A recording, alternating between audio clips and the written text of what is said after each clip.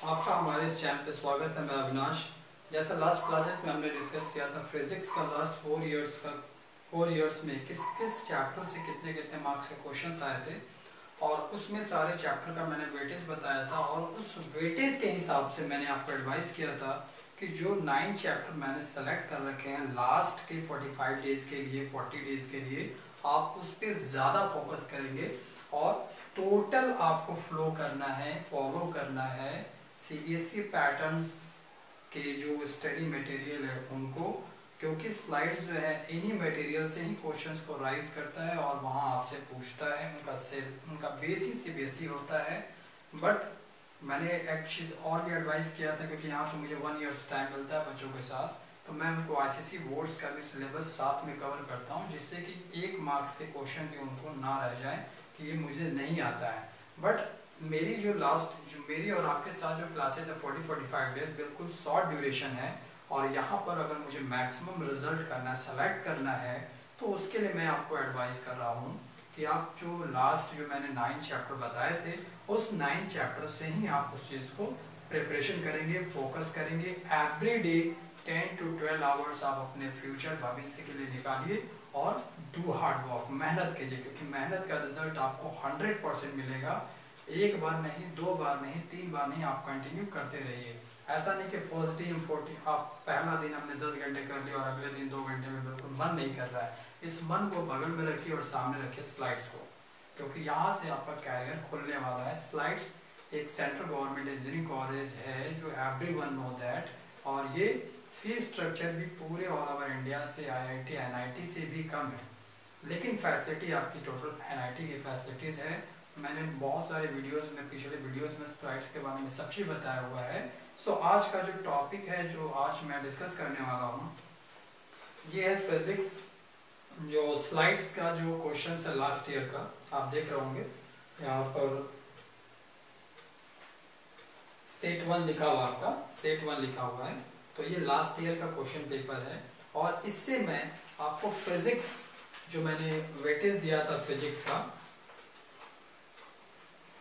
उसके सारे क्वेश्चन को मैंने लास्ट वीडियो में बताया था कि मैं इसके सारे क्वेश्चंस को पढ़ूँगा और इससे रिलेटेड इसके आंसर को बताऊँगा, जिससे आपको एडवाइस हो जाए, जिसको आप सॉरी जिससे आपको आइडियाज़ हो जाए कि मुझे किस टाइप के क्वेश्चंस को प्रैक्टिस करना है। जैसे क्वेश्चन नंबर फ़र्स्ट स्लाइड्स में the motion of a freely falling body is an example of तो इसका आंसर था acceleration accelerated motion next question था for a moving object the ratio of the numerical value of distance and displacement तो distance and displacement का ratio क्या होगा? तो वो आंसर था उसका greater than equal to one फिर नेक्स्ट था आपका न्यूमेरिकल्स मैंने बताया था कि न्यूमेरिकल पे भी आपको फोकस करना है क्योंकि स्लाइड्स न्यूमेरिकल के साइड पे भी 30 से 40 परसेंट क्वेश्चन में न्यूमेरिकल देता है।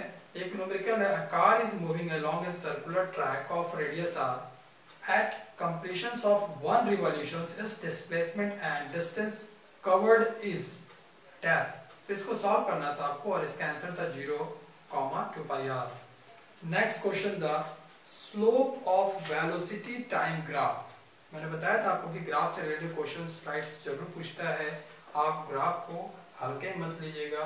तो उससे कॉन्सेप्ट बहुत ही इजी होते हैं।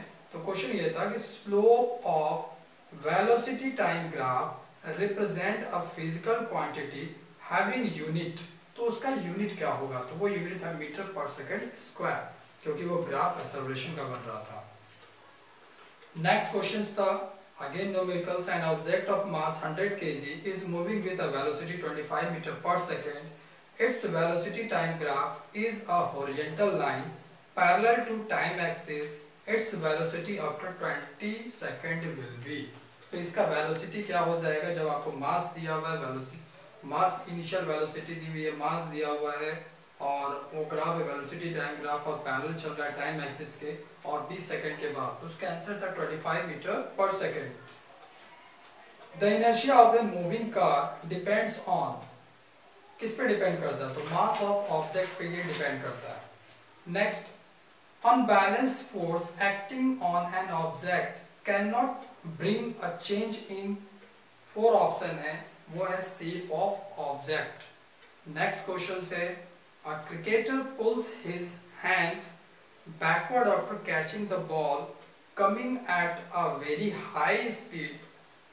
This enable him to option में जो आंसर करेक्ट है, वो है reduce the force exerted by ball on his hand next again numericals a bullet of mass 10 kg moving with a velocity of 400 meter per second get struck in a freely suspended wooden block of mass 900 gram the velocity acquired by the wooden block will be तो इसमें आप solve करेंगे तो इसका जो answer आएगा वो 4.4 meter पर सेकंड आपका आएगा a semi filled water tank is being moved at a constant speed on suddenly applied the brakes the water in tanker will move dash इसका आंसर होगा forward The concept of inertia is explained by which law of motions? तो ये law first law of motion.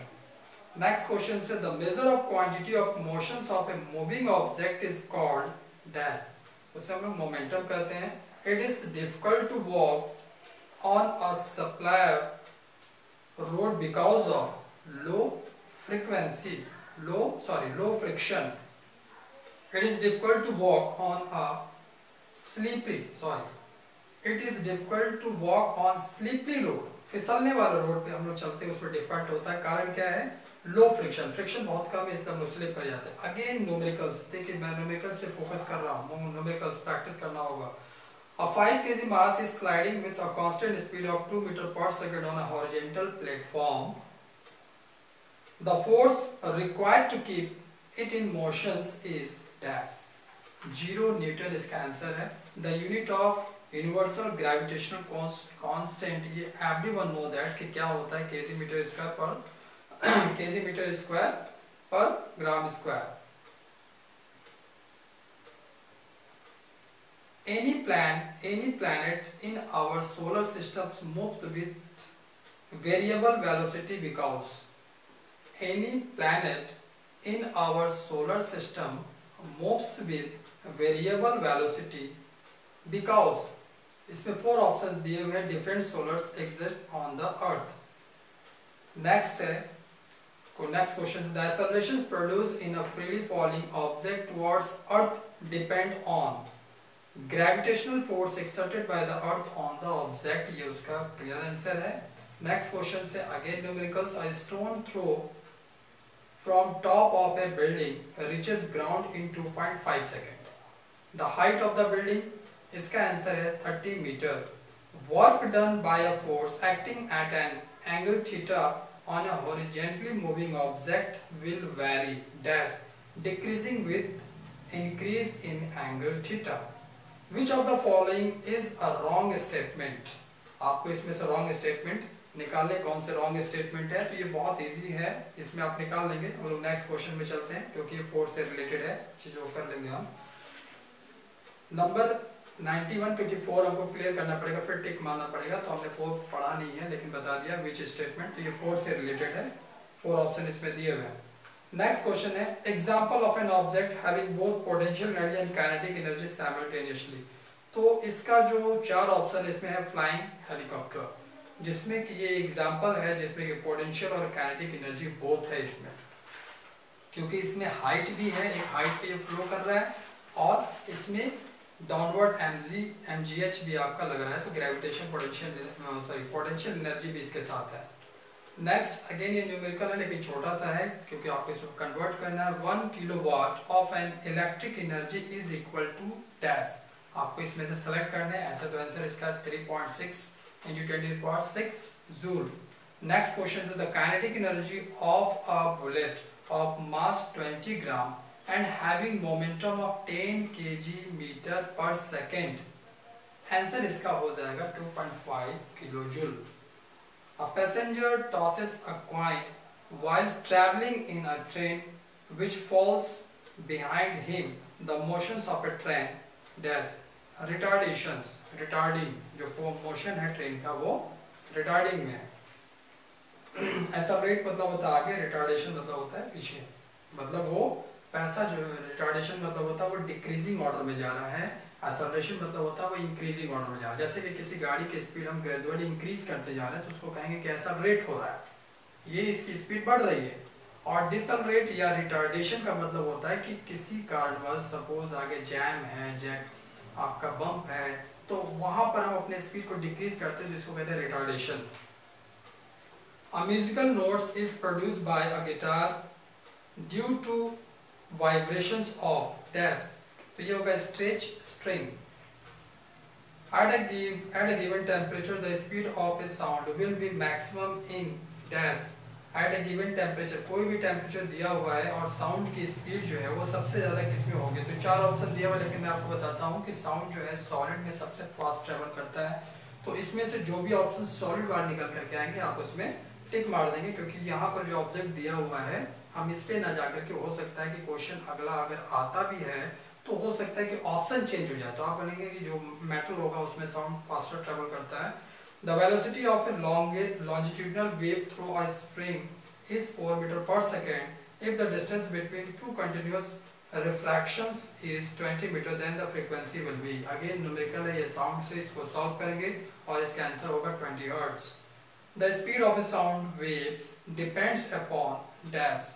तो जितने option इसमें दिए हुए nature of the medium सही है टेम्परेचर ऑफ़ द मीडियम सही है ह्यूमिडिटी सही है इसमें ऑल ऑप्शन हो जाएँगे नेक्स्ट क्वेश्चन है one coulomb of electric charge is equal to charge of how many electrons तो आपको ये चेंज करना है। ये न्यूमेरिकल्स अगर हम सीबीएसई पैटर्न बोर्ड बुक्स में पढ़ते थे, ये वहाँ पर न्यूमेरिकल्स ये दिया हुआ है, इसका आंसर है 6.25 10 to the power 18 the rating of an electric heater is 2 to 0 volt and 5 ampere.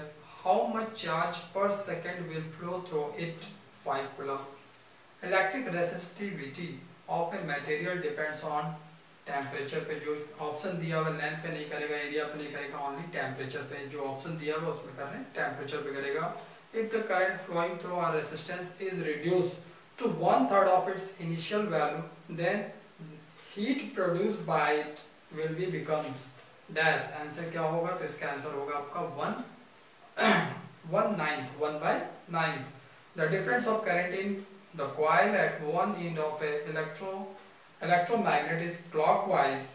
The end will be तो उसका एंड क्या होगा? द डायरेक्शन ऑफ़ करंट वो क्लॉकवाइज डायरेक्शन में, जिस पे साइड में क्लॉकवाइज है दैट मींस करंट वहाँ इन कर लिया और वो आपका होगा साउथ और जहाँ से करंट निकल रही है, वो एंटी क्लॉकवाइज होता है, उसे हम लोग नॉर्थ कहते हैं। The magnetic effect of current was was discovered by इसको किसने डिस्कवर्ड किया था? तो ये ऑस्ट्रेट थे, उन्होंने डिस्कवर्ड किया था। The frequency of alternative current supply moving in in India तो वो 50 हर्ट्ज है। एवरीवन नो दैट कि फ्रीक्वेंसी जो हमारे अल्टरनेटिंग करंट के इंडिया में वो 50 हर्ट्ज की है।